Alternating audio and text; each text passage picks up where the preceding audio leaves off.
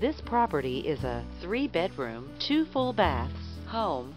On the outside, this property features a patio, a shingle roof, and a brick exterior finish. The approximate square footage is 1,125 square feet. This property is represented by Bill Myers, RE/MAX Properties East.